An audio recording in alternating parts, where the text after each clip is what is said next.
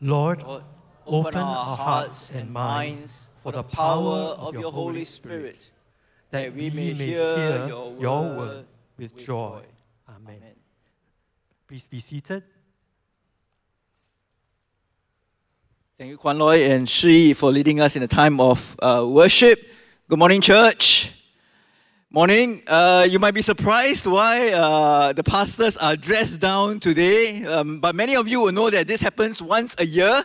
Once a year, the pastors would dress down on a particular Sunday. Uh, when I say dress down, I mean uh, me and Pastor Zhi Hui dressed down. lah. But if you have seen Pastor Ming, you will realize that she actually dressed up today because she looks very nice in, in what she's wearing. Right? And we do so because today is Laity Sunday. Once a year, in our church calendar, we celebrate what we call Laity Sunday. We celebrate the collaboration in ministry between pastors, between clergy and laity. And you know this, right? Because a few weeks ago, we had dedicated our LCC leaders, right? These are all uh, our church members who are working full time outside, but yet at the same time serving full time in church as well, in a sense, you know, giving of their time really to serve the Lord and to serve the church. And so we are thankful for the laity, and the laity plays a very important part in the Methodist Church in the leadership of the church. And so today we are glad that we are celebrating Laity Sunday, and we have a guest preacher. And our guest preacher is not unfamiliar to us because he has been coming regularly for our church anniversary celebrations, and uh, he is in fact our TRAC lay leader. Toa Methodist Church is one of the 21 churches in this group of churches called Trinity Annual Conference.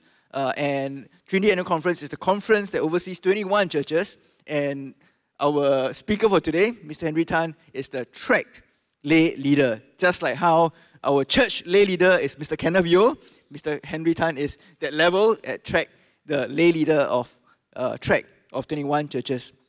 And just as Kenneth is our lay leader, representing, in a sense, the chief representative of all the church members of the lay in the church, therefore, uh, our speaker, TRAC lay leader, is the chief representative of all the 21 churches, lay uh, people, uh, church members of the 21 churches. And so he is therefore coming to speak to us about how altogether us in the church, whether clergy or lay, we have got diverse giftings, diverse talents, but yet at the same time, God has united us as one in ministry unto Him and unto the world as well. He's married to Gyok Ching and they have two grown up children. Uh, and his accountant, he's an accountant by training, uh, runs his own accountancy firm, but yet at the same time, he serves both fully in the accountancy firm as well as fully in church as well. And so we are glad that he will come today and share with us diversity and unity in the church. Mr. Henry, please.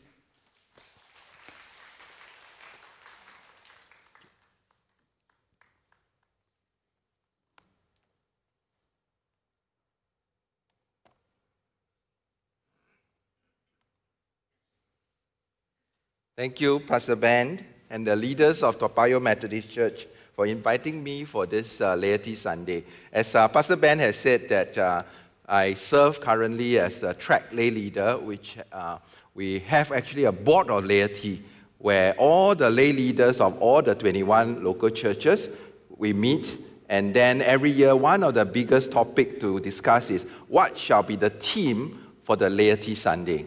And usually we pray about it and we uh, try to sense what God is talking to us. And I think this particular topic is so important unity in, and diversity. As we know, the world is now in a lot of chaos. People are disagreeing with one another, and everything sort of is in a mess. But we know that the church needs to be different. The church needs to be united. And the church, while diversified, is united. Before we dive into the passage, let me just share a story. I mean, it's a story, so I cannot verify whether the story is true, but I thought it's so relevant, and God seems to have placed that in my heart to start that story.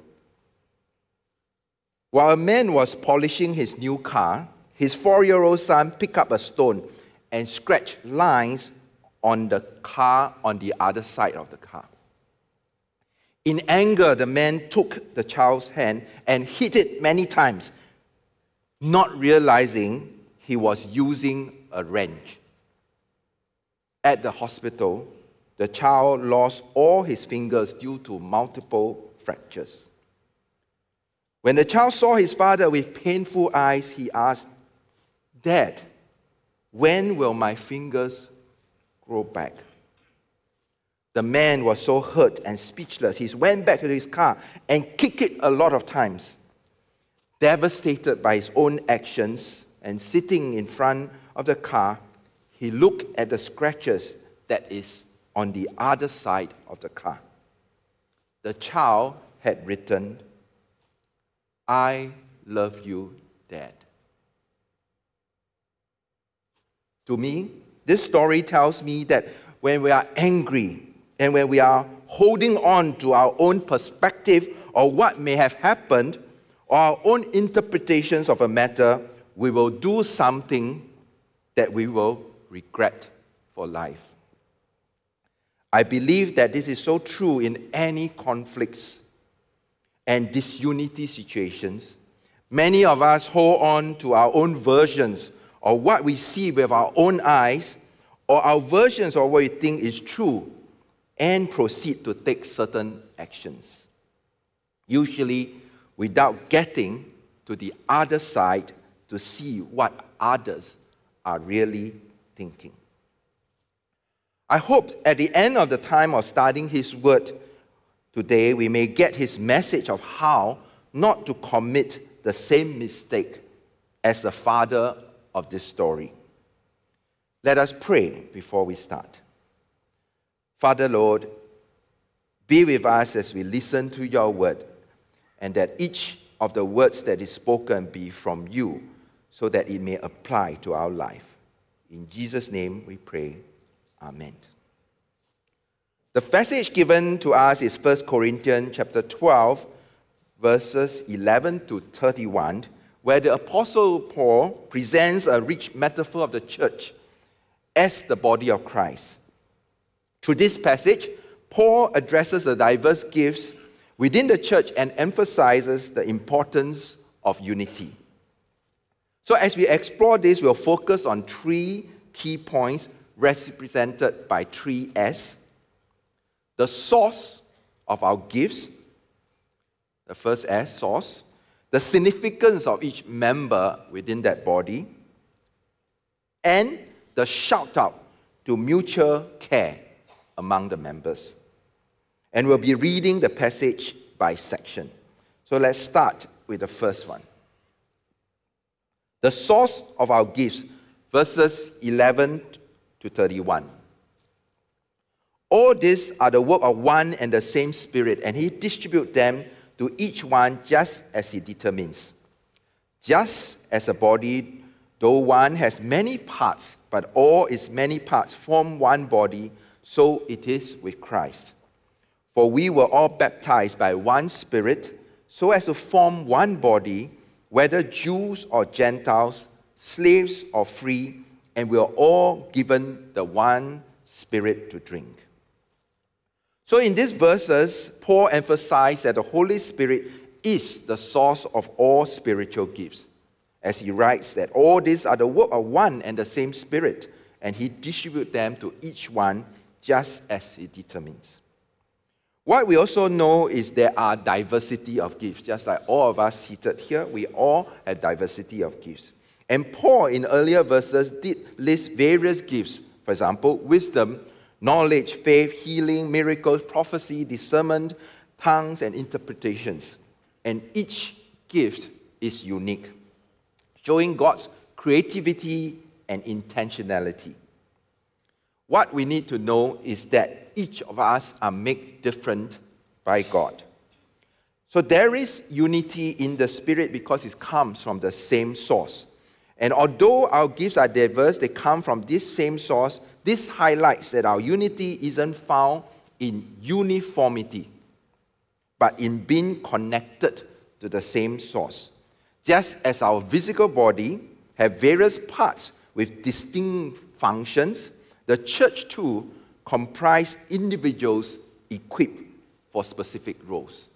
That's why I think we are here. You know, we have the worship leader, have a certain gifts, the uh, choir, the, the people who can sing well with that gifts of worshiping, they are all here, and all of us serves in different parts of the church.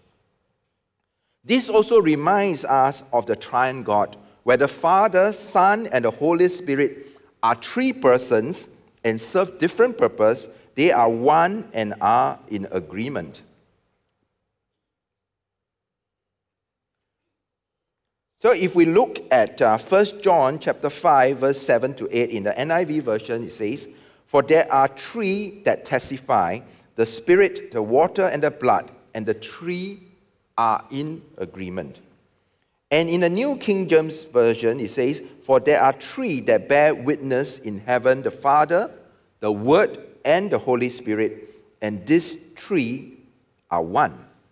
And there are three that bear witness on earth the spirit the water and the blood, and these three agree as one. After looking at this first S, which is the source of our gifts, let us look at the second S the significance of each member of this body. And that will be from verses 14 to 20. Even so, the body is not made up of one part, but of many. Now, if the foot should say, because I'm not a hand, I do not belong to the body, it would not for that reason stop being part of the body. And if the ear should say, Because I'm not an eye, I do not belong to the body, it would not for that reason stop being part of the body. If the whole body were an eye, where would the sense of hearing be? And if the whole body were an ear, where would the sense of smell be? But in fact, God has placed the parts in the body, every one of them, just as He wanted them to be. If they were all one part, where would the body be? As it is, there are many parts, but one body. So it is the same here. If imagine all of us only have the gifts of singing, perhaps then this service would be all, you know, in, in the red.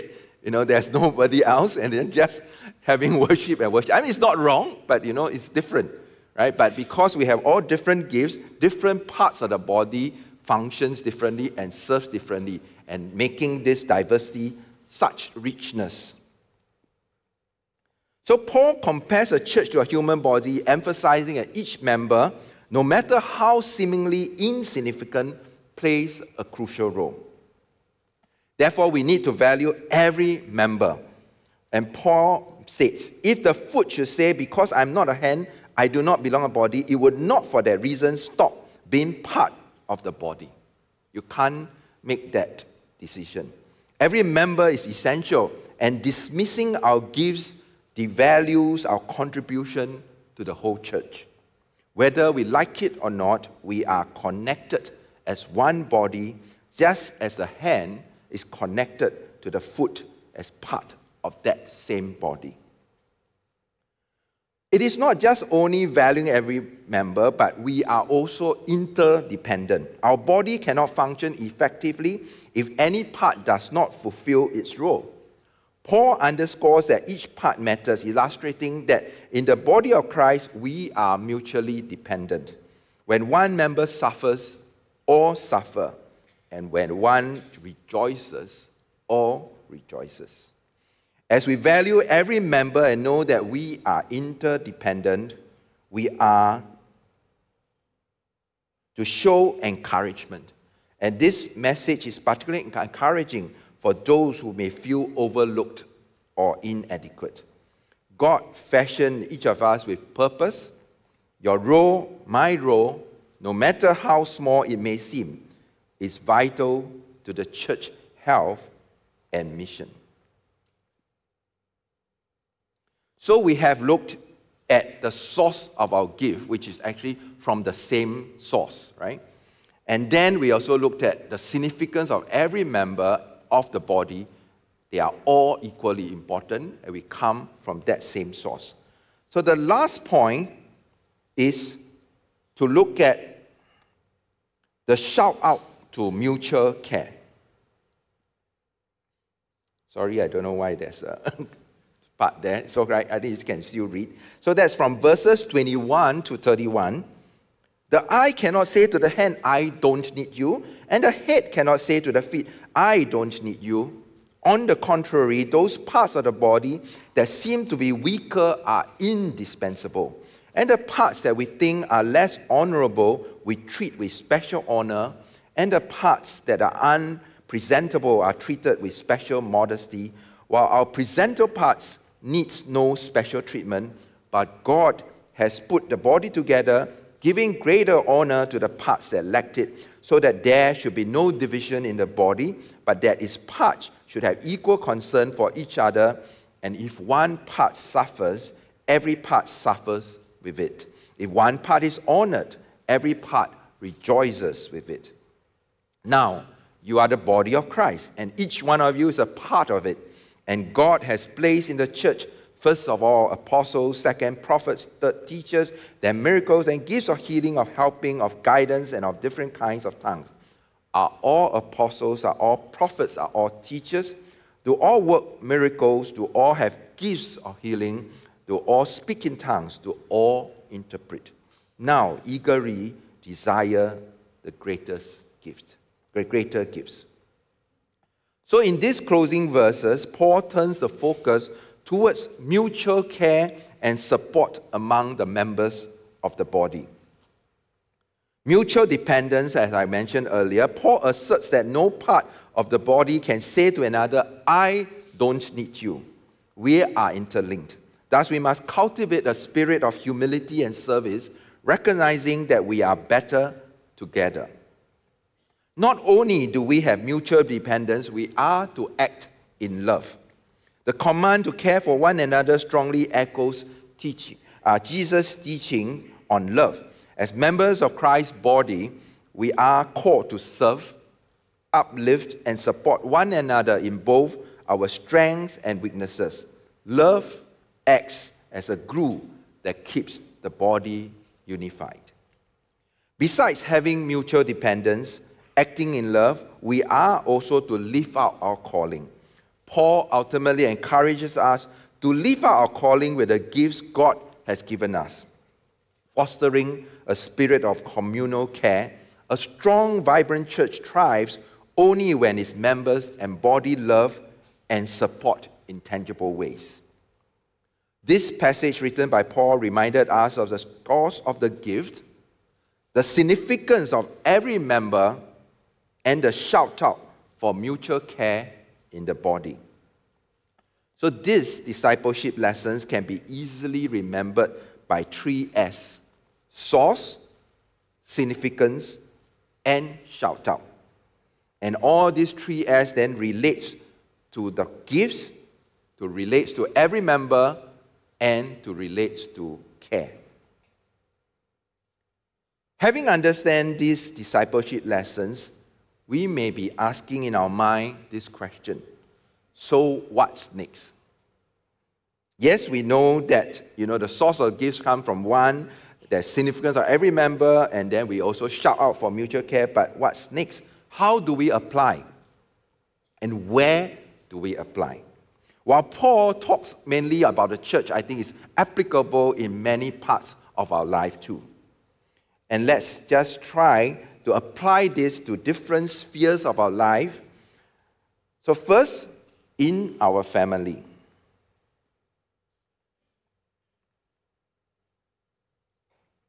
Many of us know that God has put our family together, and we also know that even though we are in the same family, with the husband and wife joined as one by God in the center, and the children who are born in the same environment, but all of us may be all very different from one another.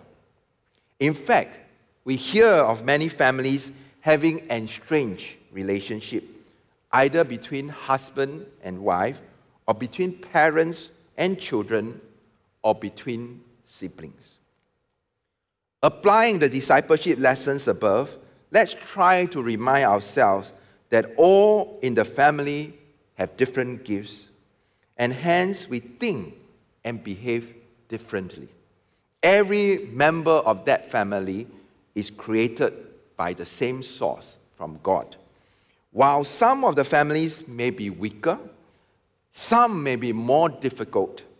We are to honor and respect every member of the family and treat each as significant and show them so. Whilst relationship may be estranged and while distance may cause closeness to dim over time, it is a reminder and a shout out for us to remember to care for one another in the family. We can care for one another by sending a gift, a message, or if relationship is estranged, we can simply say a prayer for that person quietly whenever we think of him or her. It is our mission to care for them.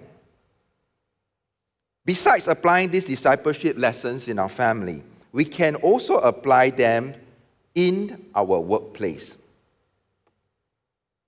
You know, this picture is quite interesting. It says Gary here is the brains of the operation. Emily is the heart of the company. Louis is, I don't know, the appendix. Not strictly necessary, but it's just easier not to get rid of him. It's just a joke for him. But sometimes we do feel some of the members in the workplace is like that, right?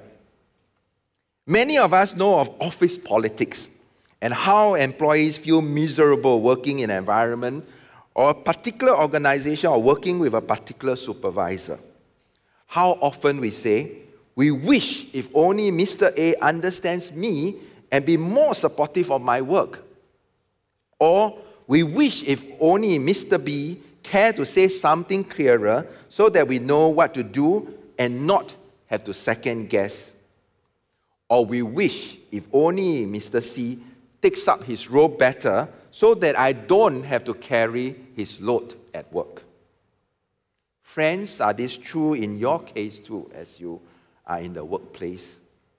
Would it help if we start thinking that Mr. A, Mr. B, or Mr. C are differently made by God and the source of their many gifts are also from God? Would it help also for us to treasure every member of the organization, our superior, our bosses, our associates, no matter how different they are, and know that God consider them significant? Would it help that God has shouted us to us to care for these persons who were sent in our way? It could that the difficult supervisor or that associate who is a pain, they are specially sent to us. And it is our mission to care for them. Besides applying these discipleship lessons in family, in workplace, we certainly can apply this in our church, in Toa Payoh Methodist Church, or in the greater body of Christ. Do we sometimes find ourselves, or often find ourselves, disagreeing with one another, whether openly or quietly in our hearts? Over theological matters, over ministry matters, over difference in opinions of how things should be handled, and many, many more.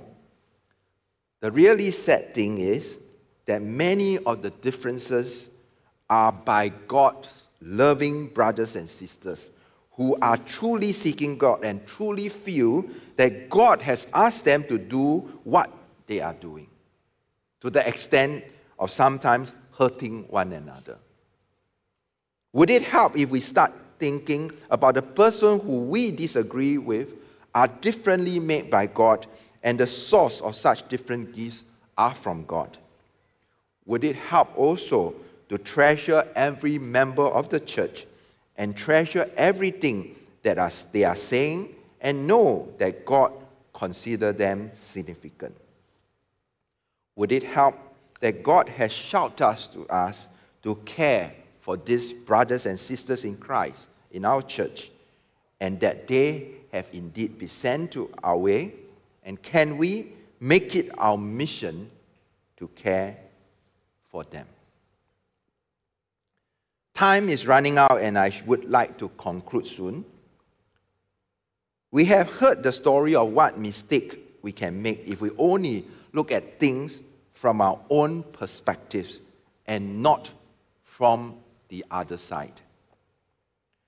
We have also three discipleship lessons to know that the source of gifts is from the one and the same Spirit, and the significance of every member of the body, and also that mission and shout out to us to have mutual care for one another. And we have also listened to how we could apply it in our family, the workplace, and our church. And in fact, in every any environment that we are placed. However, it is very important for us to know two key truths so that we can't simply apply these discipleship lessons purely on our own strength. It is definitely difficult for us, as we mentioned, you know, to care for one that we disagree with, for an estranged family members that we feel have uh, betrayed us. By our own strength, we can't do that. So there is two key truths that we need to know. Truth number one, God has saved us. God saved you, God saved me, God saved the world. And second, our hope is in the Lord. If we try with our own strength and things still doesn't change or improve, we know that we are to surrender this to God in God's timing. Things will improve. You may ask, how are we to link these two key truths to what we are discussing here in unity and diversity in the body? Let me just share a personal testimony of my own um, reflection of these two truths that I've experienced, and perhaps you would be able to understand also in your own life. So, this is a picture of uh, an accident, and the one that uh, uh, the car that I'm driving is actually the one uh, in the black car. You know, I was actually having a holiday in uh, Portugal, driving along this cobblestone uh, road with my wife. Um, of course, um, it's Europe, so it's left-hand drive. Um, and uh, we are driving down this road, and quite slowly we move. But uh, we reach a junction. I didn't really come to a complete stop, but I slowed down. And suddenly, I could see an object coming from my left. Um, and next, I sort of saw something that blocked this object. And the next thing I look on my right is the car that has flew all the way to the other side. You could see from that picture, in the top picture, you know, at a far distance, the silver color. And then the bottom picture shows you the damage that that other car has experienced. After the shock, you know, we stepped out of the car and we looked around and make sure that everybody is safe. And I walked around the car on the side and I, we looked at the car tracks, the tire track mark. And I could see the tire track mark of the other car coming di- directly in that direction, just next to my seat. So if God has not saved me from that situation.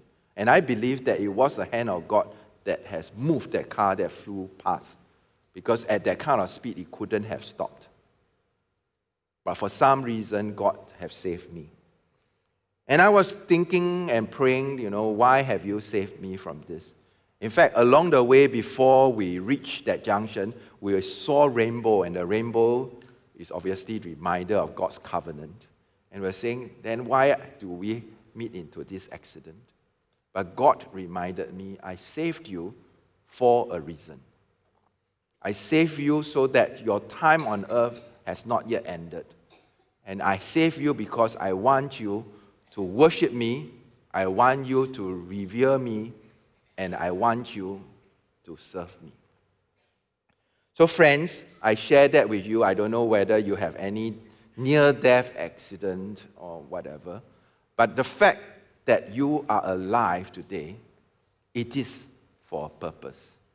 It is to worship Him, it is to revere Him, it is to serve Him. And just remember that, and all this disunity or this disagreement or these estranged relationships is not important. So, whoever that may have hurt us, that we treat them like enemy, but God has shown us that our very purpose in this world is only to worship Him, to revere Him, and to serve Him. All other things are not important. Let's pray. Father Lord, thank you so much for your reminder to us of how we need to learn to look at the other side, to look at something that others are looking that we may not know the perspective. We also need to know that in unity and diversity that we are all from one source of gift. And we are indeed significant for every member of the church or every member of the household or every member of the workplace are equally important. No one is below one another. And we have a mission to mutually care for one another, knowing that it is our mission that we are alive today and we are preserved and safe so that we can continue to worship you, continue to revere you, and continue to serve you. We pray all this in Jesus' name. Amen.